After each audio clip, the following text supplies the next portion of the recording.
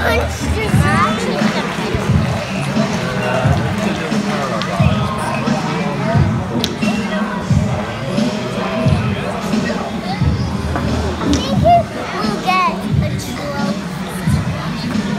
I think at the top of the tournament, for example, will have to be really high scores. Yeah, right.